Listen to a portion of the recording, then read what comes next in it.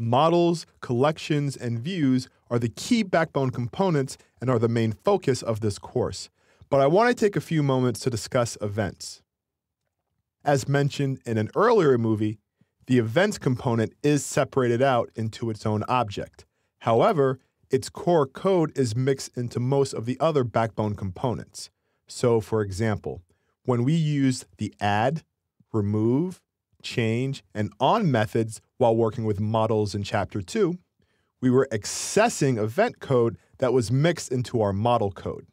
Now, events are important, and as you continue your backbone education, I encourage you to learn as much about them as you can.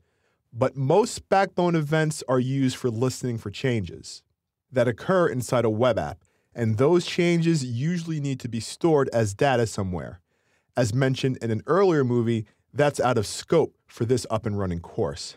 But there is a small piece of event code tied to views that you can start using right away. Views have a small events object that can be used for DOM manipulation, with DOM standing for Document Object Model. This means that we can use this events object to interact with elements on our web page. And in this exercise, this is exactly what we're going to do. So I'm still working with the same code from the last exercise. I have JS views single flower view.js open right now. And as a reminder, this is the code that represents the view logic for a single model. And I'm going to open up my snippets.txt file.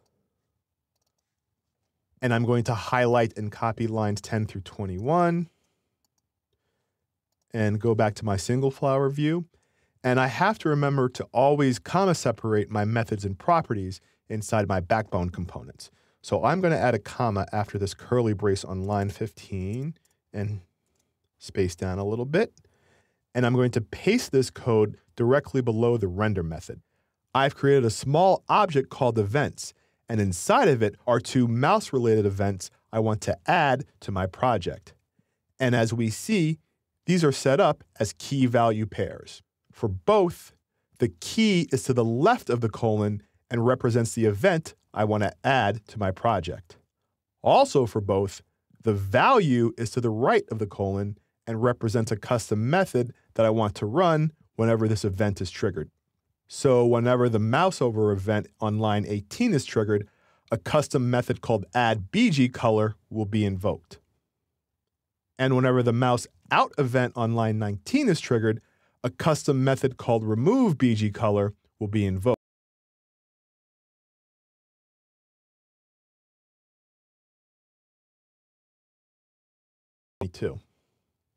and contains a reference to this dollar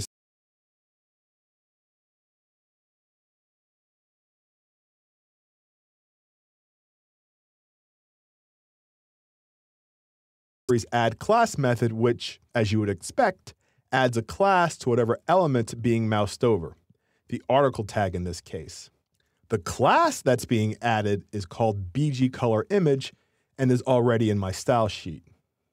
Remove BG color starts on line 26, and its code is similar to add BG color, except it will use jQuery's remove class method to remove the BG color image class from the article when it's moused out. So I should be done here. Let me test my work.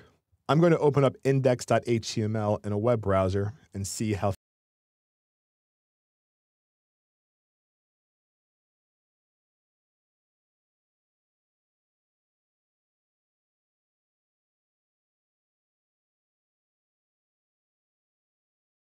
nice, but click events tend to be more useful. And Backbone has a special way of dealing with this, which is routers. We'll discuss those in the next movie.